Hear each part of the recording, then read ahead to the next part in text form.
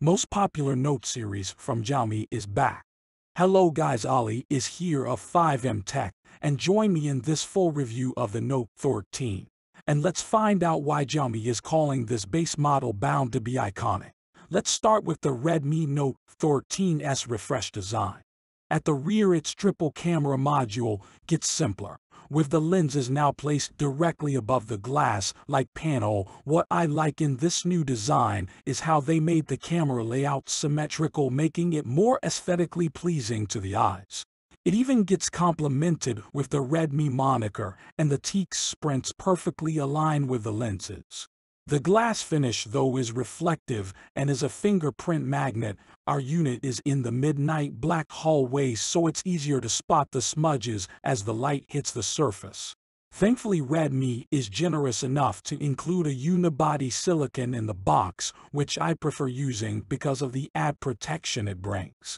Speaking of protection, this phone is only IP54 rated for splash and dust resistance. It gets a flat frame and despite its large size it fits comfortably in my hands thanks to its rounded corners.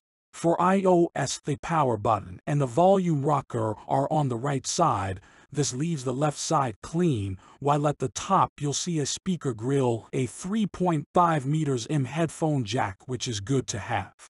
It has the iconic IR blaster beside the microphone, and at the bottom is another speaker grill along with a USB port in the hybrid SIM tray. Flipping at the front is the crisp 6.67 inches AMOLED display that runs up to 120 Hz refresh rate using it outdoors won't be a problem as it can reach up to 1800 nit peak brightness. There's also a Corning Gorilla Glass 3 on the top for added layer of protection, not to mention the phone also comes with a pre-installed screen protector. Up top is a hole punch notch and the display supports in-screen fingerprint sensor.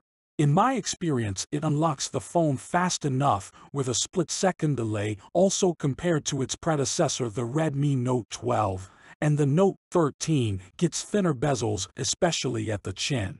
Which brings me to an even more immersive viewing experience. Adding to that is a dual stereo speaker and surprisingly it has Dolby Atmos per richer audio quality which means it will be able to play high definition Full HD and even 4K streaming content if the device display supports such resolutions. Every shot is bound to be iconic.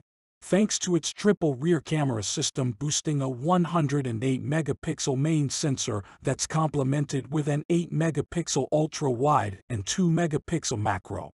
Photos have rich dynamic range and good clarity to them. Color reproduction is great with slight leaning to cool tones. In normal photo mode, it captures good videos cap at 1080p and 30 frames per second and supports some form of electronic stabilization that goes the same for the selfie camera, but without stabilization overall in terms of camera capabilities, this looks to be a great contender for your casual social media sharing. Software-wise I was expecting it to run Xiaomi's latest HyperOS to my surprise it's still running MIUI 14 instead which is based on Android 13. As expected, there are bloatware pre-installed as I boot up the device for the first time, but these can be easily uninstalled if I wanted to. In terms of performance, the Redmi Note 13 absolutely delivers under the hood, is a reliable Snapdragon 685 chipset configured with spacious memory at 12GB RAM and app storage at 256GB. So what do you think of the Redmi Note 13 is?